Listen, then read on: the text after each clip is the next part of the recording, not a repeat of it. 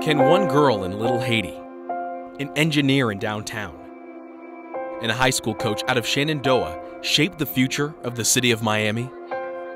Yes, they can. Because every 10 years, the census gives us that power. You could shape your future by responding to the 2020 census. Where do we need new roads to make our lives easier? Where will new school programs help our children thrive? Where could a new health clinic benefit neighborhoods? The 2020 census will inform these decisions and shape how billions of dollars will be distributed to communities just like yours each year. And in 2020, you can respond to the census online, by phone, or by mail. It's easy, safe, and important. Make sure you and everyone you know is counted. Now is a time for you to get involved. Your community needs you. Together, we can educate and excite, inspire, and make sure every voice is heard. Together, we can shape our future.